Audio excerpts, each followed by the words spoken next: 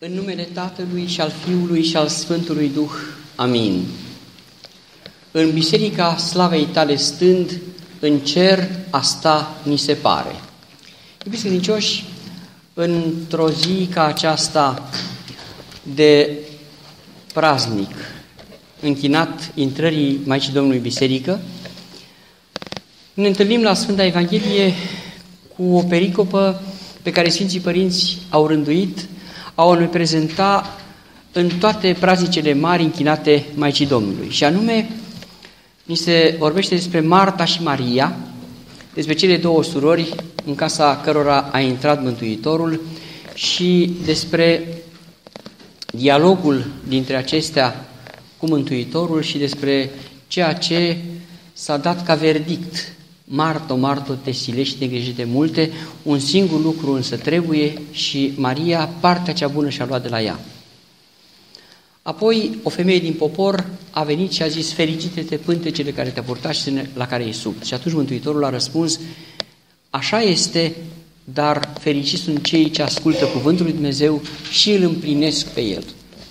Datorită faptului că de foarte multe ori am vorbit despre Marta și Maria, le-am întors pe toate fețele, am învățat despre tipologia umană, am învățat despre cum trebuie să ne purtăm ca să alegem partea cea bună. Uh, am arătat de multe ori care este adevărata greșeală pe care a făcut-o Marta, pentru că greșeala ei nu era că a făcut o spăț mare și se silea, ci greșeala ei era că vroia ca și sora ei, Maria, să fie la fel.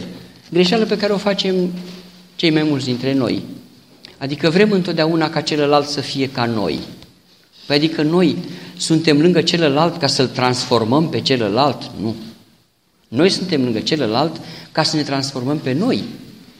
Vă mai aduceți aminte de pastorul acela care după 30 de ani, de când tot uh, îndruma o turmă duhovnicească, a fost interpelat de un enoriaș de-a lui, să zicem așa, cu mai mult tupeu. Și a zis, părinte, nu te supăra, dar de 30 de ani ați văzut, ne învățați lucruri frumoase și nu prea s-a prins nimic. Ați schimbat pe vreunul dintre noi în acești 30 de ani? La care foarte liniștit a spus, dar eu de multă vreme nu mai încerc să vă transform. Mă străduiesc să nu mă transformați voi pe mine. Ei, despre acest lucru vreau să vorbim astăzi. Și v-am citat din psalmistul David pentru că Biserica lui Hristos, e adevărat că istoricește vorbind, nu este biserica în care a intrat Maica Domnului. Maica Domnului a intrat în templu de la Ierusalim, dar s-a extins această biserică pentru că despre această biserică este vorba atunci când psalmistul zice, în biserica slavei tale stând, în cer asta ni se pare. Aș vrea să vorbim despre noi, despre fiecare dintre noi, ca mod de viață și mai ales strategie de viață. Acest îndemn la contemplarea lui Dumnezeu este unul real, în biserica slavei tale stând. Să le luăm pe rând. Unde să stăm? În Biserica Slavei. Adică să spunem că nu putem să trecem așa cu mintea și să vedem numai ziduri. Dar între aceste ziduri, ce trebuie să facem? Să stăm. Dacă e vorba de niște ziduri și e vorba de o atitudine, adică de a sta, putem să mergem mai departe și să spunem că Dumnezeu a sădit și în noi și a zidit această biserică în noi. Adică, dacă vrem să avem o strategie de viață bine pusă la punct, în noi stând, să ni se pară că stăm în cer. Adică să ne împăcăm cu noi înșine, ce să nu mai dăm de colo-colo. Pacea cu noi este esența sărbătorii de astăzi. Dacă vrem într-adevăr să fim împăcați cu celălalt sau să trăim frumos lângă celălalt, nu trebuie să facem altceva decât să trăim frumos cu celălalt. Dar cum putem să trăim frumos cu celălalt? Altfel decât dacă ne-am rugat și ne-am stărui să trăim frumos cu noi înșine. Și cum putem trăi frumos cu noi înșine? Împăcați cu noi. Adică să luăm lucrurile așa cum sunt. Spuneam și altădată că diferența între oamenii de succes și ceilalți o face tocmai faptul că cei de succes se străduiesc să înlocuiască dorința de a înțelege cu strădania de a accepta. Să spunem despre un diagnostic. A venit peste noi un diagnostic. Păi prima mișcare este butonarea netului, să vedem ce înseamnă. Și imediat a băgat două uh, surse, cinci motoare de căutare, le-a întors pe toate părțile și i-a dat așa o listă pe care, după ce a citit-o, pământul e foarte aproape, groapa e săpată și urmează testamentul, dacă mai ai timp, până diseară. Asta înseamnă să cercetezi unde nu trebuie. Trebuie să zici așa, bun, organismul meu a primit acest diagnostic. Eu știu că Dumnezeu m-a creat astfel încât să mă pot vindeca singur. Nu fug de medici, ci sănătatea este un efect. Înseamnă că este un semnal de alarmă pe care trebuie să-l decriptez. Acum nu o să pot să o fac de unul singur. De exemplu, dacă punem mâna la inimioară și auzim bătăile, nu o să știm exact dacă avem ceva sau nu avem ceva, ne ducem și facem un EKG și ne uităm acolo, dacă nu suntem de specialitate, ne uităm ca mulți în calendar, vedem niște linii, așa.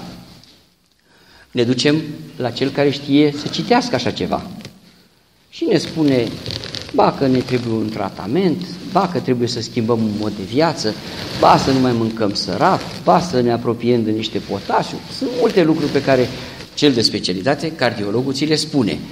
Și atunci tu te duci acasă și în loc să intri repede pe net și să vezi despre ce e vorba, dacă ai sistola, nu știu care și nu știu ce, intri și îți face capul așa, cum zice românul, călindar, nu faci altceva decât uh, să îți pierzi timpul crezând că poți să înțelegi. Nu. De ce să ai această atitudine și dorință de a înțelege? Pentru că îți pierzi vremea. Dacă vrei să înțelegi, ce e de înțeles? E de înțeles că cineva căruia nu ai făcut niciodată niciun rău vine la tine și îți dă răuna.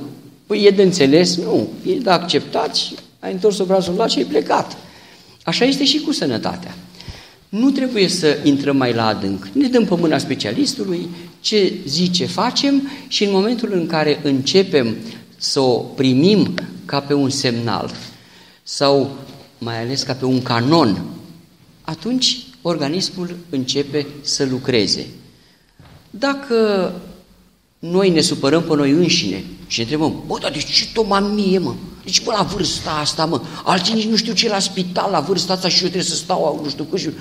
Și bineînțeles că atunci organismul ce face? Uh, intră într-un război.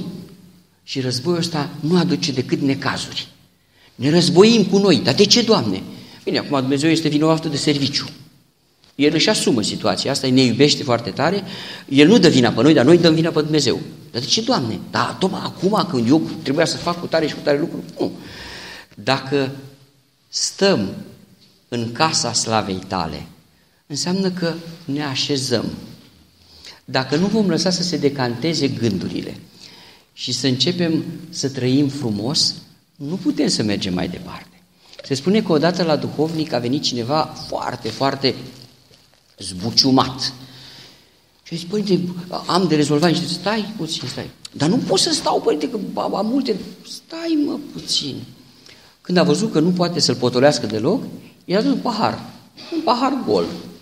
Și zice, uite, du-te la râu și adu un pahar cu apă. S-a dus, bă, părinte, dar eu am timp de așa, băi, du-te și vezi. A venit cu paharul cu apă și a zis, cum e apa asta? Păi, să uite, tulbure cum să fie, că am adus-o de la râu. Mai stai puțin așa. Încet, încet s-a potolit omul cât de cât și după un anumit timp a zis, da, acum cum e paharul? Cum e apa din pahar? Deci e limpede, părinte. De ce e limpede? S-a așezat așa jos, s-a decantat ce era de decantat. Și așa este și cu tine. Ai mintea tulbure atunci, atunci când ești învolburat, atunci când vrei să faci o sută de lucruri într-o zi, atunci când vrei să mulțumești pe toată lumea. Nu, nu. De mulțumit pe toată lumea, nu vă străduiți, că nu o să reușiți. De scos din sărite pe toată lumea este foarte simplu. Dar scoate din sărite pe toată lumea, uh, deja uh, începe să așeze lucrurile. Trebuie să fim foarte atenți în continuare. Va să zic că în biserica slavei tale stând. Ne obișnuim și poate ne schimbăm modul acesta de viață în care intrăm, dar de, de fapt pe care îl creăm, pentru că nu trăim într-un iureș cum crede lumea, ci iureșul îl facem noi.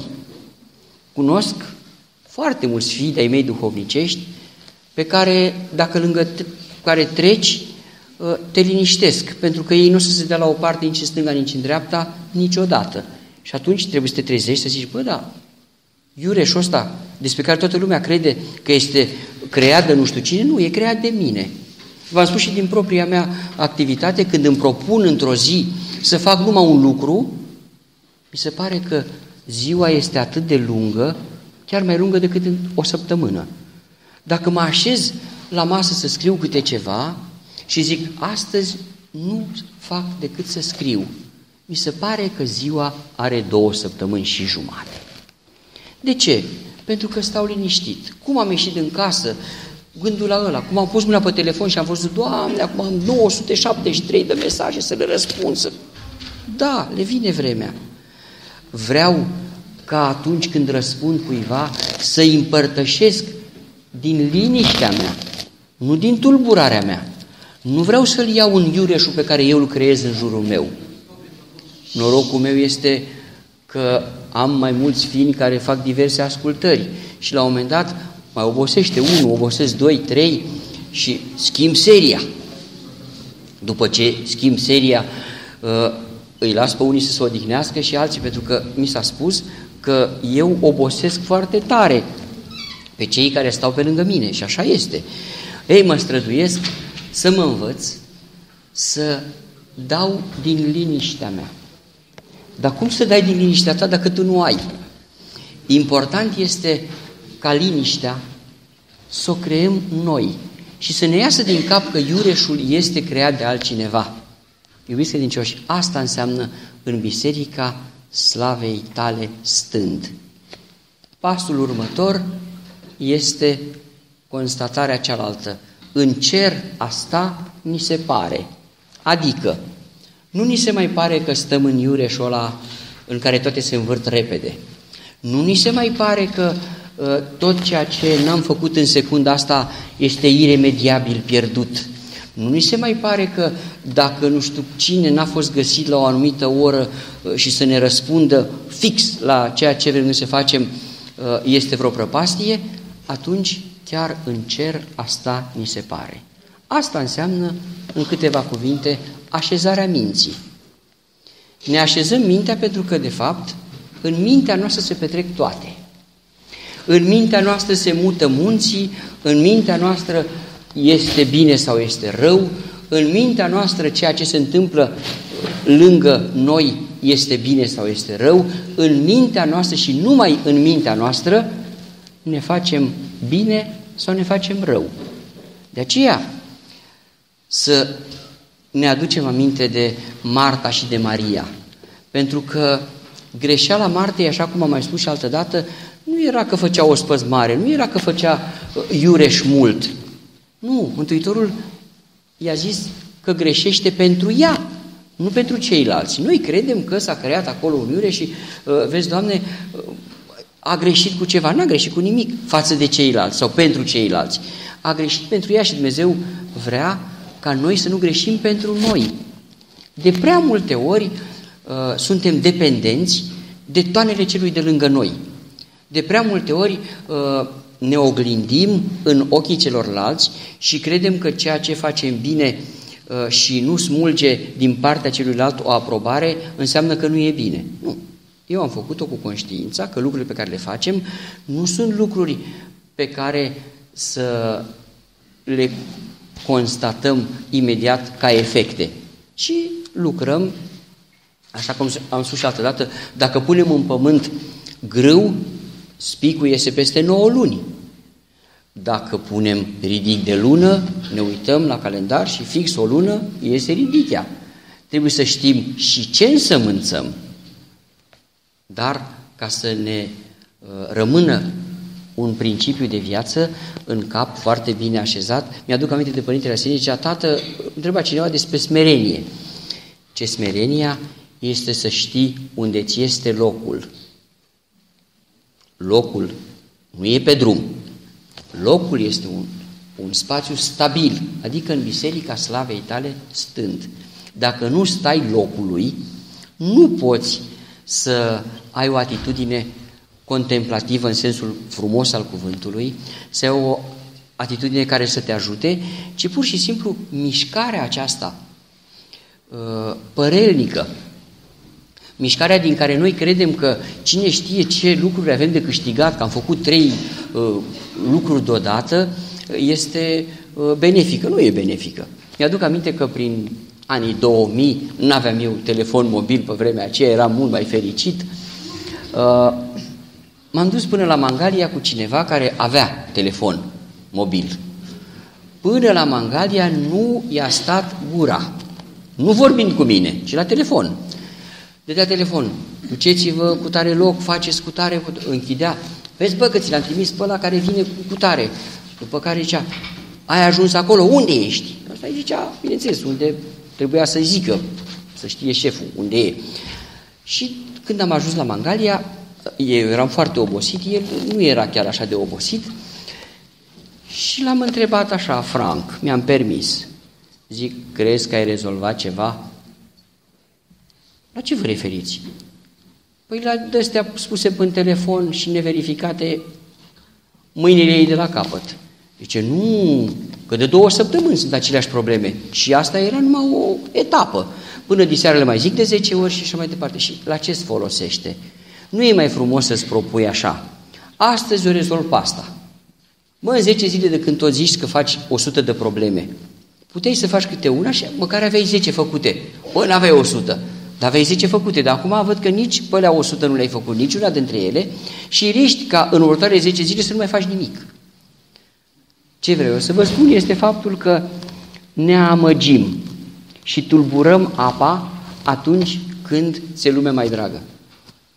Corect ar fi să ne așezăm să ne propunem câte un lucru pe zi. O să ziceți, da, dar ce lungezim așa. Nu, pentru că un lucru pe zi făcut bine face mult mai mult decât o sută de lucruri făcute prost. A face un lucru prost înseamnă a-l amesteca, a crede că a înțeles cel de lângă tine ceva și ea ca nu e bine. Îmi aduc aminte, tot acum vreo 10-15 ani, aveam un film care, când îi ziceam ceva, numai începeam să-i zic pe nume și să-i zic două cuvinte și și pleca. Și de vreo două ori trimitea pe altcineva să mă întrebe ce i-am zis că el a uitat. Zic, nu mă, ia vină încoace. N-ai uitat, nici n-ai auzit, că nici n-am putut să vorbesc cu tine. Este această dorință de a uh, face ceva repede, dar nu știi ce. Uh, mai am pe altul care când îi zic ceva, începe să fac niște mișcări așa, ca și când este uh, la campionatul mondial și îi împoartă și nu știe unde să ajungă mingea și trebuie să să se miște neapărat. Nu. Frate, zic, stai puțin, da, stai să-ți povesti. Ă, da, da, da, ce? Stai mă liniștit în primul rând. Vreau, vreau să te Dacă cel cu care vorbești nu este liniștit, cu siguranță că nici nu înțelege ce vrei să-i spui. El are mintea în altă parte. Zic, stai puțin, hai să ne liniștim împreună. Păi nu că vreau să fac repede, stai puțin, că nu asta mă interesează. Dacă fac astăzi un lucru ca lumea, îl fac ca lumea. Trebuie să ne liniștim întâi dacă vrem să gustăm din slava lui Dumnezeu. Așa, dacă facem astăzi un lucru care mâine ne va face mai mult rău decât binele pe care noi credem că îl facem, vă spun cum mi-a povestit mie primul croitor care mi-a făcut, mi făcut prima reverendă în 1993. După ce face reverenda de diacon, vine preoția și, bineînțeles, mi-am permis peste doi ani să mai fac o următoare reverendă. Zice, părinte diacon, zic, vă mulțumesc că eu acum mă pregătesc pentru preoție și... Zice, eu dacă de când ți-am făcut mata reverend asta, aș fi stat pur și simplu, aș fi fost mai câștigat, pentru că m-am grăbit să fac foarte multe reverende, dar între timp s-a mărit prețul uh, materialelor, furniturilor și zice, când am făcut o socoteală, dacă stăteam degeaba, era mult mai câștigat pentru că am folosit un material pe care îl cumpărasem ieftin și acum trebuie să-l cumpăr mult mai scump. Astea sunt niște calcule economice. Dar în spatele acestor calcule trebuie să stea neapărat înțelepciunea de a nu ne grăbi, înțelepciunea de a face lucrurile așezate. Pentru că e posibil ca ceea ce credem noi că facem astăzi ne va fi foarte, foarte de folos mâine. S-ar putea ca exact lucrul pe care îl facem astăzi, mâine să ne încurce. De exemplu, imaginați-vă de cineva care se grăbește, nu știu dacă cunoașteți lucrul acesta, să sape un șanț așa pe în șosea. Și s-a grăbit și vine Dorel din spate și imediat n-apucă ăsta să pună firul pentru care a săpat șanțul și Dorel la stupă și cheamă și pe ăla cu bitumul și astupă șoseaua și zice, băi, am făcut, astăzi am făcut trei lucruri. Adică am săpat, am astupat și am și asfaltat. Zice, da, da, firul l-ați băgat? Zice, noi ne-am făcut treaba. Nu eram angajați să săpăm, să acoperim, să punem șoseaua la loc. Zice, da, da, trebuie să o faceți din nou mâine. Așa se întâmplă cu noi. Dacă vrem să facem mai multe lucruri deodată, e posibil să uităm esențialul pentru ce am început lucrurile respectiv. Dacă, de exemplu, ne-am duce acum acasă și găsim uh, mobila puțin dată într-o parte, soția să zicem că vrea să dea cu vară în spatele unei, unui, unei mobile, să dea pe, pe un, un zid. Și noi când vedem în mijlocul casei toată mobila, zicem, băi, hai să-i fac o surpriză până vine să le pun la loc. Și biata femeie când vine le găsește, ce faci măi omule? Și eu de-abia le dădusem încoace, zic că, uite, acum avem de lucru. Păi ce? Păi da, trebuie să dăm cu vară în spatele lor. Și iar muncim. Sunt foarte multe lucruri practice pe care vi le spun, vis-a-vis -vis de faptul că suntem tentați să credem că dacă nu stăm, facem ceva bun. Nu! Dacă nu stăm, facem ceva rău. Dacă nu stăm să le gândim, facem numai lucruri rele. Asta ne învață praznicul de astăzi. Maica Domnului a fost luată în brațe și dusă în Sfânta Sfintelor, unde nu intra decât arhiereul și decât numai o dată pe an, ca să aducă jertfă. Noi trebuie să intrăm în Sfânta Sfintelor și să nu facem din a intra în gândul nostru o navetă. De la 5 la 5 și un sfert intrăm de 3 ori, de la 5 și un sfert la 6 și jumătate intrăm de 2 ori și mai departe. Trebuie să stăm și să știm că dacă am intrat într-un loc, trebuie ca în acel loc să facem fix ceea ce ne-am propus.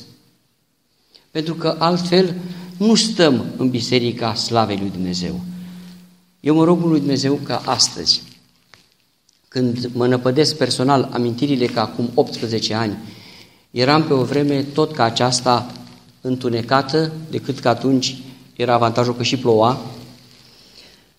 Și la sfințirea Bisericii Picturii și a Sfintei Mese uh, erau oameni care se îngrămădeau, auziseră și ei de biserica asta pentru că a fost multă vreme închisă și am căutat de atunci și până astăzi și încerc și mă voi strădui toată viața mea să nu mă grăbesc. Nu mi-a ieșit până acum. Nădăjduiesc că îmi va ieși după. Dar important este că m-am străduit. Este mai puțin important ce mi-a ieșit decât ceea ce m-am străduit să fac. Mă bucur că sunt și dintre enoriașii care mă știu de atunci împreună cu care am făcut multe lucruri în biserica aceasta și iată că aceștia sunt ca un element care mi-arată unde trebuie să mă aflu eu. Adică să stau mai mult. Să stau în ce sens? Să vă transmit că a sta locului, a ști locul tău, este mesajul duhovnicesc. Vă mai spun și altă dată că într-un CV european acum, dacă scrieți că sunt, de exemplu, dacă scriu eu că sunt de 21 de ani paroc, asta este, uh, îmi anulează tot punctajul.